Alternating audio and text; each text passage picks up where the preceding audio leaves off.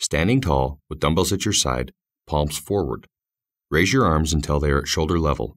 Pause, and then lower the dumbbells to the starting position. Next, raise your arms straight out to your side until they are at shoulder level. Pause, and then lower the dumbbells to the starting position.